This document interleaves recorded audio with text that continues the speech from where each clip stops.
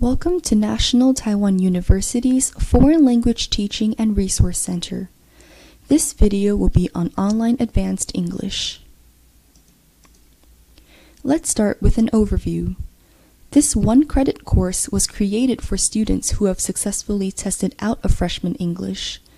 It is divided into two classes Online Advanced English 1 and Online Advanced English 2, and is held on a semester basis. While they are similar in level of difficulty, they are not consecutive, and each class's schedule and lessons are different. This course is fully online and for self study. Users can plan their own progress and sign up for exams during the center's testing hours. The grading criteria is as followed. This course is only for NTU students who have successfully tested out of freshman English. Each exam will cover material learned up until that exam and will not be cumulative. The first and second exams are both worth 45%, and there is also an end of the semester skills test.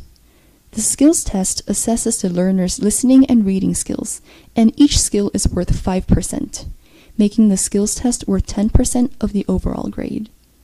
There are no limitations for what will be on the skills test, and all scores will be rounded up to the nearest whole number, and any course points earned will be included for the final grade, which will be based on ranking.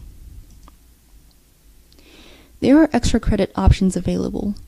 Students who participate in the joint discussion with Online Academic English can earn up to a 10% overall grade boost. For more details on the class, please look on that course website for more details. Let's take a look at the course website.